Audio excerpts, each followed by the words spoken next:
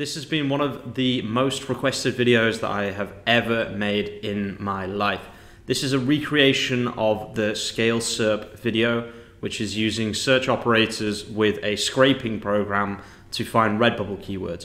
This video is going to show you how to do the same thing, but to find digital downloads for Etsy. You can easily replace the words in the search operator if you want to find t-shirts. I will also show you how to do that. This is going to be quite a long video. If I'm going too quickly, please put it on 0.75 speed. Let's get into the video. So how does this work exactly? You can find this spreadsheet on in the description. Basically, you just need to copy one of these and you need to go on Google and you need to search for it. What does this do exactly? This is going to show us a huge variety of keywords. What a search operator does is it takes Google and it tells Google to show us only results from Etsy. And what I've done is I've put the word market in here, and what that does is it makes it only show us Etsy search result pages, okay? And then you hit, then all you need to do is put download as well here. Another thing you could do if you really wanted, you could do results, and then if you want to find low competition stuff, you could do one to, I don't know, 500, for example. And then this should, if I'm right, show very, very low results things like this, for example. Results tracking, uh, 429 results. I'm seeing some sales here, so yeah, could be a potential uh, niche. And you can basically go through this and find some stuff. We're not going to be doing that in this video. I just wanted to mention that you can do that if you want to. So we're actually going to be mixing a few different methods together. What I'm going to be doing is I'm going to be finding niches I'm going to show you how I found the niches and then I'm going to show you how you can find tags and do the SEO for those niches as well using a very, very interesting method that we've obviously seen before on this channel. Okay, so what you can do is you can just search through it like this, just normally have a little look, see if you can find anything interesting. Uh, yeah, basically you can do it like this. Or what we can do is we can go on tools, click on any time and put it on the past month, for example, and we can see what is kind of starting to rank in the last month, okay? So Santa Lost Button, I have no idea what this is. Really interesting. Is this really downloadable? 20,000 sales. I know, I know it's not just this one thing that has 20,000 sales, but uh, no, this is actually something that's delivered, so it's not a digital download. You can see some really strange, really interesting uh, keywords here. Basically, church newsletter. That's that's pretty interesting. Kind of weird, I guess. Kind of a weird niche. Uh, okay, that's a yeah, I guess. Okay, so this is how the method works. Okay, but let's talk about this in a bit more detail. So let's go to Scale SERP. As you may or may not know, if you've seen the, uh, the other video that I made, this is an incredibly powerful and incredibly free tool. So what we can do is we can use this tool to basically search, do, do the same thing, but en masse, okay? So let's zoom in a little bit so we can see. Just go on Scale SERP, sign up for a free account. Do not zoom in and out while you're doing this because for some reason you will instantly lose any progress that you've made. Location, again, this is really useful, obviously, because I'm in Italy. So the fact that I can then put United States is super, super useful. You can put the time period. I'm going to put custom and I'm going to go back. The min date is the from, so from 2016 and then to today. I don't really mind about any of the other things except sort by, which I'm going to put date because I want to see the newest ranking things first. Page, I believe you can't do anything. Max page, I think, is 500. Number of results, I believe, is 100 is the maximum. We're going to put it in CSV format. Uh, we're not going to choose the fields, and then we're going to click Send API Request. This should work first time, I'm hoping. Okay, so classic, I just zoomed out to see the results better, and yeah, the same thing happened. Okay, so we can see here, uh, we have all of these results here. What we can do is we can actually copy them to clipboard, and we can open a new Google Sheet like this. We can hit blank here, and then we can Control V them into here. No, we can't. So instead, let's download the CSV data because apparently copying to clipboard doesn't work. Although maybe if I put it in a notepad, it will work. Oh. No, it's just easier to download it as a, as a CSV. Let's leave here, open a new file, upload, and yeah, there we go. This will then put it into a readable format. We can open this with Google Sheets, and now we can see a little bit better. So the organic results, this is what we're interested in. Let's make this bigger. And you can just see all of the things that we just saw, basically, okay? So word search could be a good niche. Um, gender announcement, digital download girl could be a good niche. No idea, really, to be honest with you. I don't know what's a good niche, what's a bad niche. Trampoline party invitations, instant download. Sure, why the hell not? Elephant baby shower invitation. These are all niches that, you know, I don't know if they're big niches, but the point is, is that they're probably not going to be that um, competitive. Obviously, some of them will be, like unicorn stuff is normally pretty competitive, but it's a really, really interesting keyword, okay? So, unicorn birthday invitation. What I'm going to do is I'm going to take that keyword, I'm going to click on discover new keywords here. I'm going to go on English, United States. And this is Google AdWord Keyword Planner. I will leave a video in the description on how to set this up. I'm not going to show you how to set it up in this video because I've just done it so many times. It's a big niche. It's a, it's a surprisingly big niche. Whoa.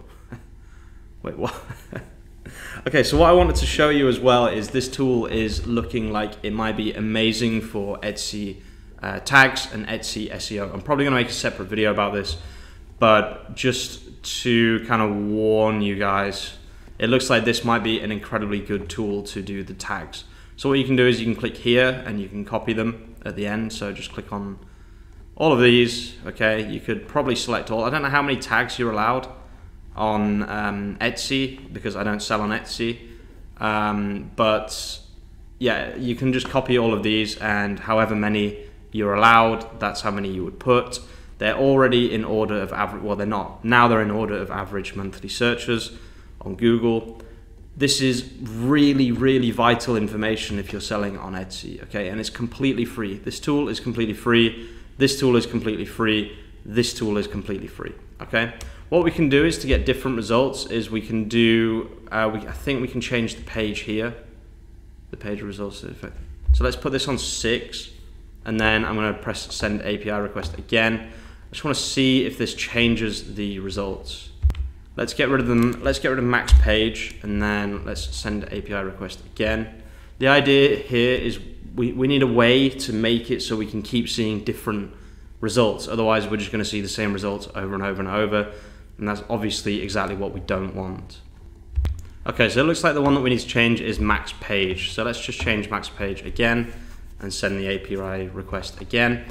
This tool, um, it's free up to a point, but if you do need more API requests, it's incredibly cheap. I'm not going to put any affiliate links or anything like that because I don't want people to think that I'm trying to make money from this video through affiliate links. That's not the point of this video. The point of this video is to do everything for free. But if you go completely crazy with this tool and you need more API requests, it's incredibly reasonable. It's like four dollars or something for an absolute crap ton of um, API requests. So another thing we can do, out that loaded in the end. Let's have a look if these are different. Yeah, they are. Yeah, they're completely different. So if we want different results each time, all we need to do is change the max page, okay? I wouldn't change anything else. Just change the max page and everything else, just leave the same. Let's try this on six. Oh, okay, the max max page is actually five. So there is actually a limit to the amount of data that we can see here. So what we need to do is we need to make sure that we have different search operators in order to change this up. Trust me guys, you're gonna wanna keep watching this video because I'm gonna go really into detail with a specific niche. I'm gonna show you an amazing niche towards the end of this video. Make sure you keep watching for that. But for now, what I'm gonna do is I'm actually gonna change the search operator. So instead of in-text download, I'm going to have in-text printable. And that should change everything up. What I'm actually going to suggest that we do is I'm going to put max page here, number of results 100, like this. Uh, we're going to start on max page 1, actually, and we're going to slowly go up to 5, which will give us the most amount of keywords that we can get, basically, okay? And yeah, I would keep everything nice and organized in one spreadsheet, and then slowly but surely you'll have a list of maybe 3,000, 4,000, 5,000 potential keywords. So you can see here, this is exactly the same thing, printable coloring book, first day of school printable, printable wall art, self-help printable, weekly planner printable, diorama printable, sign up printable. These are all going to be decent niches. It's up to you guys to find out which niche is good and which niche is bad. 3D printable sort, that's very interesting. What I find absolutely fascinating about this kind of thing is um, how many searches this kind of thing has. Yeah, up to 1,000 searches. All of them have like huge amounts of searches, I've noticed, like a lot of printable niches have really, really high searches per month, which is why I'm so interested in it. Teacher thank you printable. Really, really interesting. I love to check. Yeah, look at that. Wow. Teacher thank you printable. Wow. Insane. So obviously one thing that we have to think about is that a lot of people want free stuff and they're not necessarily willing to pay uh, anything for Etsy, okay? But uh, generally speaking, you can see this person has uh, 5,512 sales. Just this one particular thing has um, 23 reviews, which could be, I don't know, up to 100 sales if only one quarter of everyone that sees it or buys it leaves a review. So another thing that we can put in the in text to find something different here is actually digital file type. So what I'm going to do is I'm going to add that to the list here. We're going to slowly but surely have a way to get 10,000 keywords completely for free. The thing that you want to do before is you want to test whether the search operator works, otherwise it's not going to work on ScaleSERP. So let's hit enter here. You can see, yep, it works perfectly fine. Another thing we can do if we just want pure keywords is we can get rid of the word market on the hashtag, on the, on the slash, and then instead what we can do is put listing, I believe, yeah. So we can put slash listing. What this does is it gives us instant keywords, okay? Like, look, no justice, no peace, uh, you know, all of these different things. These are all just instant uh, keywords instead of the thing that I was doing before, which was showing the market. So what we can do is I can get these three here and instead of market I can put listing okay and you can do that for each one I'm slowly but surely giving you guys the tools that you need in order to make a successful uh, download um, shop Etsy download shop okay? That's the point of this video. I said I was going to start my own shop. I probably am going to start my own shop still because it's looking like it's a huge huge business. But I thought I would show you guys how to actually do that for yourselves. Okay, so once we have done that, what I want to do is I want to try this. Okay, so what I want to do is I want to try this listing on um, ScaleSERP, okay? So we'll do uh, siteetsy.com slash listing in text download, okay? and then max page one, and then just send API request as usual. It's the exact same process as before, nothing has changed.